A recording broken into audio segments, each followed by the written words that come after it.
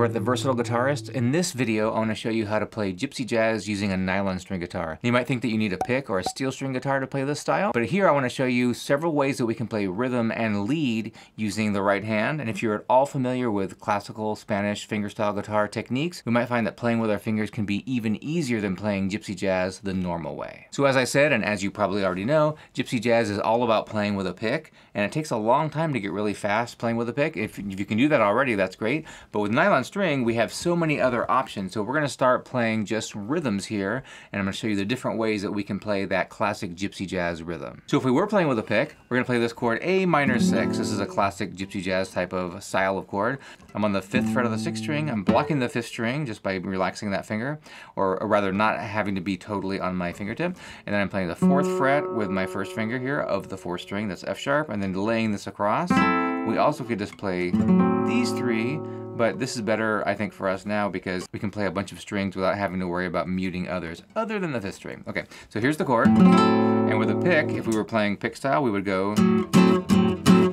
and we're relaxing the left hand. We're going to be talking a lot about the right hand, but uh, in the left hand, to get that rhythm sound, we're going to be relaxing in between every beat just about. One, two,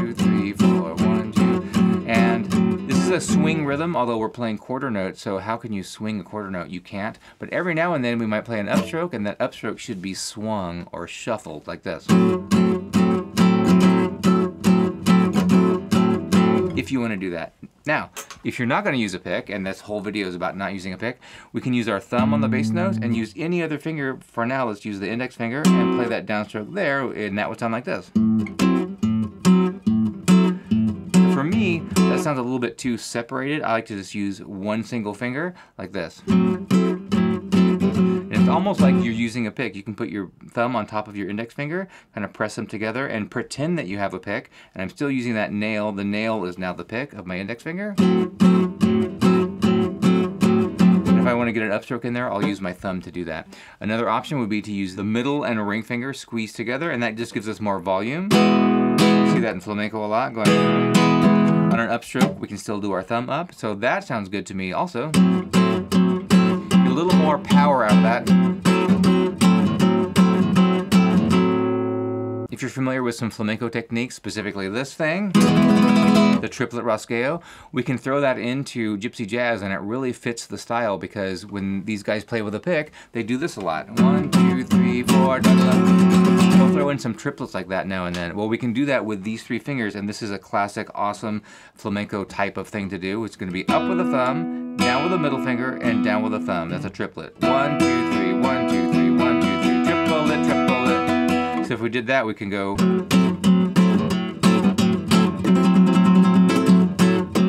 If you want to throw that in there. A little bit harder to do, um, but that kind of mixes it up a little bit. Let's look at the chords for a classic gypsy jazz song called Djangology, written by Django Reinhardt. We're going to play A major over C sharp. Then we have this diminished C diminished chord. This is a G over B. Then this is a B flat diminished seventh. Now, just notice I'm doing the same thing twice. So I'm on the ninth fret, blocking that string, seventh fret with my first finger, ninth fret here, and the rest of the strings we're trying to mute. Then I just bring these two fingers down, but keep that one. Now just do the whole thing again, two frets to the left. There's that, drag these down. And here we have an A minor 7, this is frets 5, skip a string 5, 5. And then for D7, it's a 5, 4, 5. G7 chord inversion. And then we can play G major 6. That's a third fret, skip a string, second fret, and then we're on the fourth fret here. So let's do that with our right hand techniques. One, two, one, two, three, four.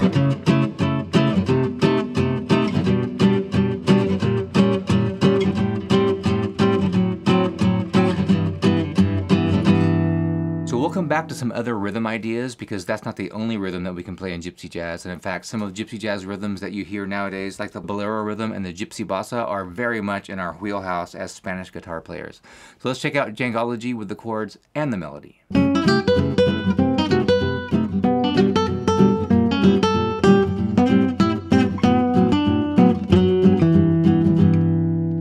I show you the Djangology melody, let me show you what we do as Spanish nylon string guitar players to play loudly. And gypsy jazz is all about aggressive sound. So when you're playing with a pick, um, watch these guys are doing a lot of downstrokes, and they're doing that because it sounds more aggressive, and they're doing what we would call a rest stroke in our Spanish guitar type of uh, universe here. We're gonna go like that and land on the next string.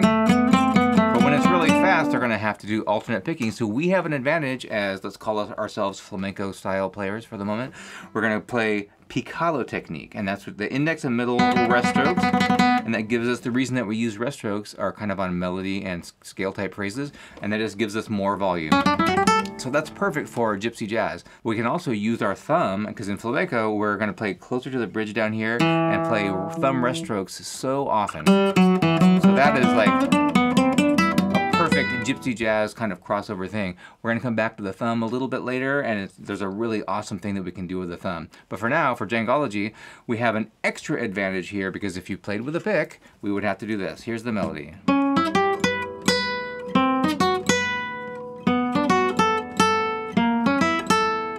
Okay, what I'm doing there is I'm kind of doing a little sweep picking here. And that's not that hard to do with a pick. Of course, things, everything's hard to do when you do it fast. But when we play with our fingers, we have more fingers. We only have one pick, so we can either go down or up. But if we have two or three fingers, we can. there's a real division of labor that we can take advantage of there to play faster. So here, we're just gonna play simply an arpeggio, and my thumb is covering the bass strings, and that keeps them from ringing out. We really can't do that. That's kind of a problem when we're playing with a pick. You can't do that with your right hand. You have to rely on your left hand, and sometimes you just can't do it, and strings are gonna ring out. But here, I'm just covering up those bass strings because I know I don't want to hear them. To play this melody, we're playing the sixth fret of the third string, and I'm on the fifth fret of the next string, and then third fret here. You can kind of hold it like a chord, but if you do that and you arpeggiate them, they ring out. We really don't want that. We're gonna play, make these notes more individualized. So we're gonna go and take them off as you go. I'm on the seventh fret of the first string, and we're gonna drop down here to the fifth fret of the third string, fourth fret here, second fret. Same high note. Now here we're on the fourth fret of the third string, third fret here, second fret. This time the high note is A. Now I'm here on the third fret of the third string, second fret, and then that's a diminished chord. Third fret, second fret open. The A goes to G, and the conclusion is using all picado technique there, index and middle rest strokes. Fifth fret, fifth fret, back, fourth fret, third fret, and back, and then fourth fret on the fourth string, down to there. Second time around, it's gonna resolve by going like that. So like I said, we have more options because we're not playing with a pick. So let's try using our thumb. It'll take a little more effort, but it's very much like kind of a Spanish style of playing, and we wanna get faster at that anyway. So I'm gonna go like this. Everything is a downstroke.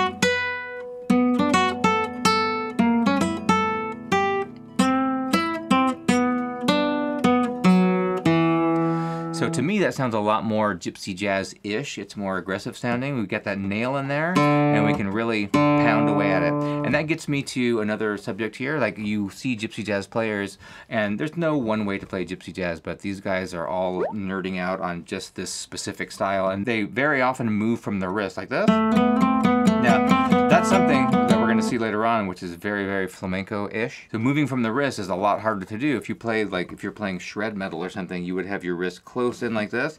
Playing really fast, that way is actually not as hard as having your wrist way out like this. But that just gives you this really aggressive swing, and you can, of course, swing is another um, term that we're using rhythmically, but we're literally swinging our wrist and really pounding into the string, and it just gives a, this really awesome attack. And in Spanish guitar, we do that a lot, and we can do that with our wrist. I'm playing a thumb rest stroke here, um, and you notice how I'm touching a string.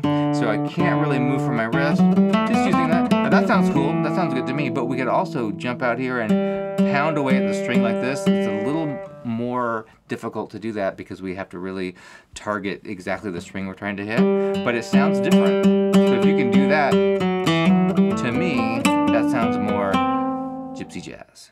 Let's look at a couple of gypsy jazz licks that we can play with our fingers. So if we were playing with a pick, this is a very common one. I got an E minor chord here. I'm on the ninth fret, eighth fret, seventh fret, and I'm gonna play the root way up here, go down a fret, major seventh. Here's a minor seventh, here's a major sixth note, and this lick goes like this, real common.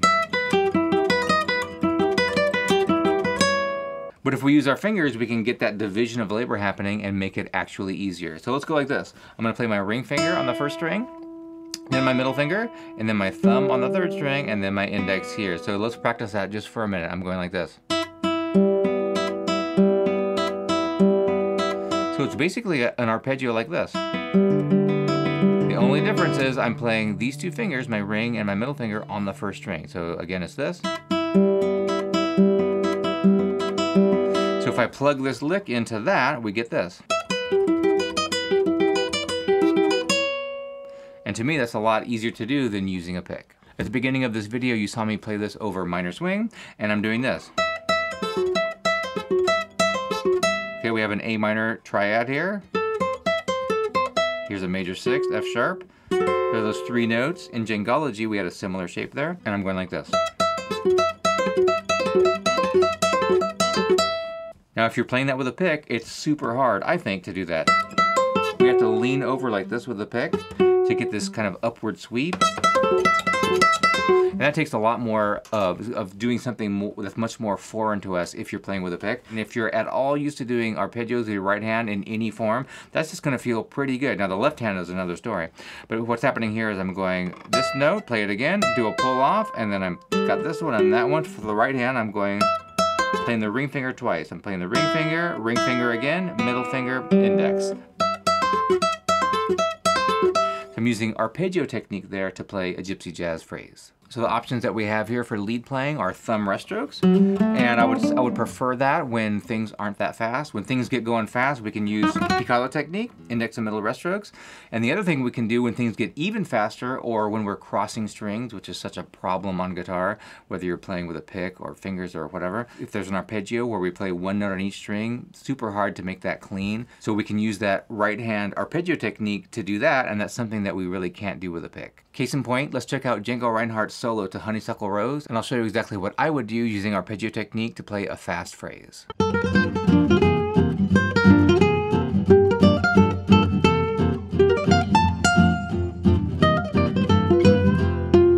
So in that snippet that you saw, I played the same thing two different ways because one time it's slower and one time it's faster. So the first time we have this little G minor arpeggio here. I'm going to use rest strokes because it's not that fast. Picado technique. So the second time I went like this. Because it's faster and so I'm playing this arpeggio technique of what we could call a forward arpeggio index middle ring and I had them all down ahead of time and I basically just peel them off. And then the next note is not as fast as those three that I just played so I do a rest stroke there now when you're learning gypsy jazz, whether it's the melody or an actual solo or something, they're never going to tell you what to do unless it's an educational thing that you're looking at. They're not going to tell you do a downstroke with a pick here or an upstroke. Basically it's just in lead sheet form, so that's great for us because it doesn't matter what we do, we can do it however we want. We can use picado on those notes, we can use our thumb rest stroke, whatever feels comfortable to us at that moment. And a lead sheet, if you don't know what it is, is just simply the chords and the melody, the bare bones of the song, which is a great launching pad for making a chord melody if you were doing that. So Gypsy jazz is definitely an ensemble style. You need more than one musician playing. Somebody's gonna play the lead, another person will be playing that rhythm. So we lose a lot if we try to do chord melodies, but some of these songs are so cool and the melodies are so strong that um, we, don't, we don't have to have that thumping rhythm the whole time to make an arrangement. So I've done that. For example, Nuages by Django.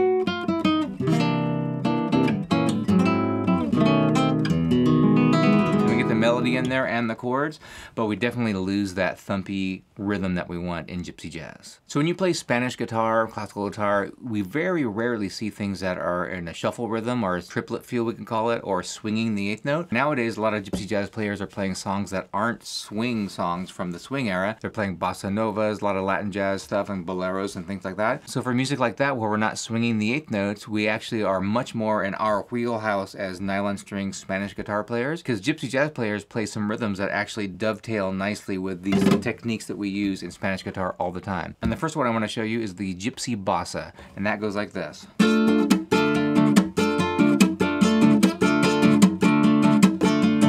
So you might be thinking, well, that doesn't sound like a bossa nova at all, and it's not. It's basically a rock rhythm. We're going one and two and three and four, and very much has a backbeat accent in there. What that means is an accent on the two and the four. So I'm going one and two and three and four, and one and mute, three and mute.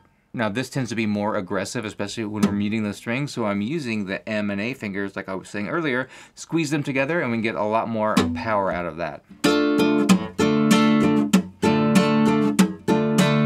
Going down with M and A and up with the thumb.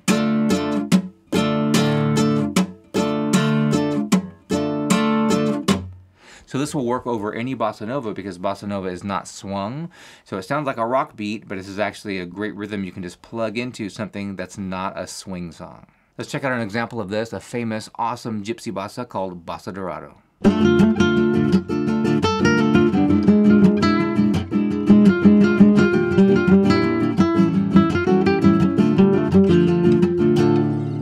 Melody to Bossa Dorado I've always found hard to play with a pick because we have to skip strings, especially if you want to play downstrokes, which gives you that more aggressive tone, we'd have to go, and it's not that hard to do, but if we have more than one finger, we can just go like this. Spread those fingers out, or use your thumb here. And here I'm gonna go, and I'm just dragging my finger over, which would be kind mm. of a no-no most of the time, but it actually helps you get some speed. I've heard that called a slip finger picado. Just drag it like this. At the beginning of the video, I did that here over this diminished seventh lick. Just dragging that finger across those three strings for extra speed. Another great rhythm that is legitimately gypsy jazz now is the bolero rhythm, and that is perfect for some of the techniques that we use in the right hand. if we were using a pick, we would go like this. One, triplet, two, and three, and four, and one, triplet, two, and three, and and... Now that triplet is pretty hard to get. You really have to swing quickly to do that. This technique that I was showing you earlier takes a long time, I guess, to get good at that too, but it's much more easy. There are some things, you know, that are hard and will always be hard. And there are other things that are hard sounding, but they're easy to do. Or rather, when you get good at them, they're super easy. And that's this technique that I was showing you at the beginning here. So we can use that, or this technique, which is called the four-stroke rasgueo. This is the pinky going down with the pinky, ring, middle, index, and we can get a triplet into the next beat using either of those. So we can go like this, or we can go for the bolero rhythm. So that would sound like this.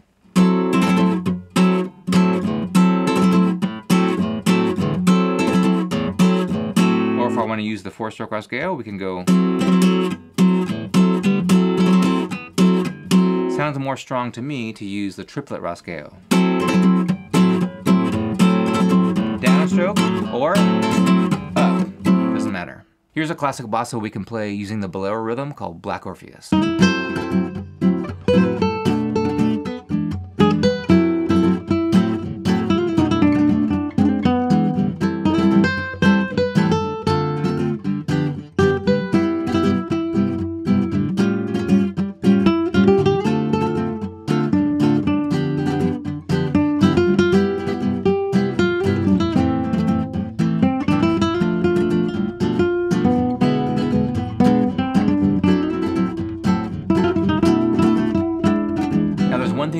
Flamenco with our thumb called alzapua, which is a more advanced thumb technique. But this is where I think gypsy jazz and flamenco really cross over the most. So like I was saying earlier, when you play with a pick, if you want to play like these guys are doing, we're going to really be swinging from the wrist like this, right?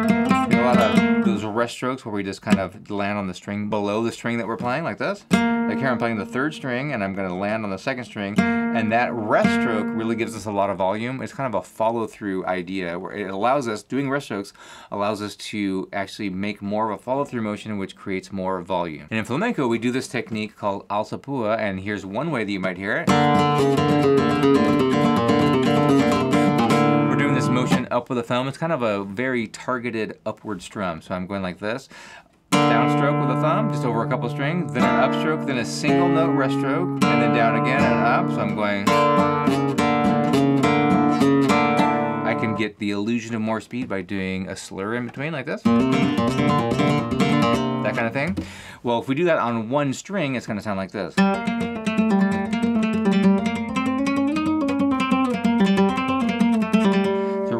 Awesome technique. It takes a while to get used to this. I'm using my wrist to do that, which is harder to do, but you don't have to do that. You can just use your thumb and maybe put your index finger on a string for stability. So I play the thumb rest stroke, hammer on, and then an upstroke with the thumb, but not a heavy upstroke, just a real light one. And that is a triplet. Thing to do. And what does that have to do with gypsy jazz? In gypsy jazz, especially those classic old swing tunes, those are shuffle rhythms, and a shuffle is based on a triplet. So if we play triplets, we can play over a shuffle like this.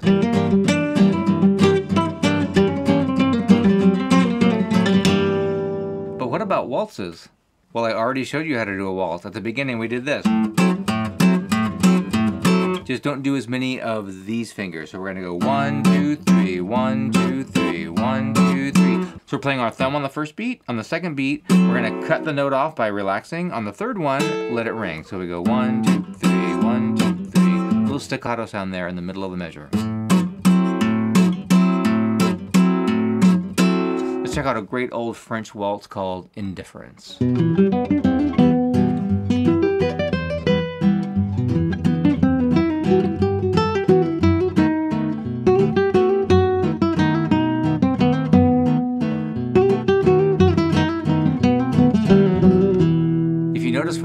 That song, I'm doing arpeggio technique because we're playing one note per string, and that's pretty hard to do with a pick, but here I'm just simply going thumb, index, middle, ring.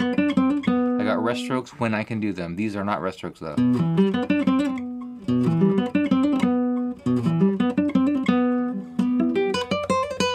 So we have definitely an advantage as fingerstyle players in the right hand when it comes to arpeggios like that.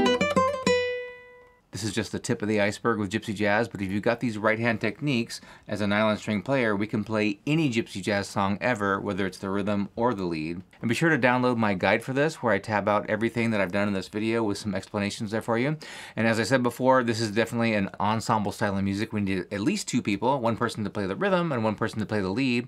But in this video, I want to show you how to play a classic Django song, where we play the chords and the melody on one guitar. Click it. I don't have all day. I can't just sit here all day where you don't click it. Anyway.